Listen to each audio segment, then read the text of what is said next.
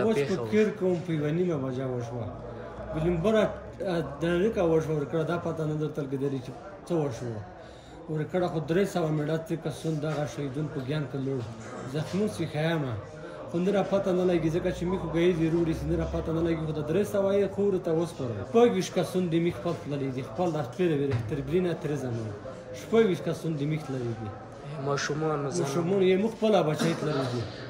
خپل لوستري وکی کې وبندي